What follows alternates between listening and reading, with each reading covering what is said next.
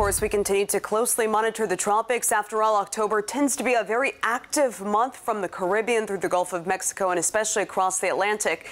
And new tonight, Justin from the National Hurricane Center, Kirk is officially a Category 1 hurricane, but in my opinion, it's the best kind because it will not be threatening land.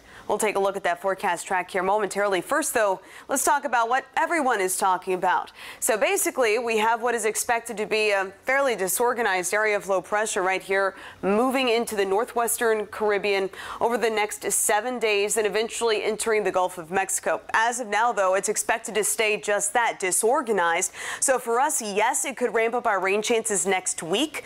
But as of now, we don't foresee the wind or the storm surge threat. Of course, we'll continue to monitor this very closely, but please be extremely weary of anything that you might see online. And then, of course, we have Kirk. As of 5 o'clock, sustained winds 75 miles per hour, gusts up to 90, expected to become a major hurricane by Thursday. But again, over the open waters, well to the east of Bermuda as of now, not a threat to any landmass whatsoever as it continues to strengthen there over those open waters. And this wave here to the south of the Cabo Verde Islands likely to become Leslie also over the open waters here here in the next day or so. We'll talk more about that and what to expect for our weather here at home coming up next.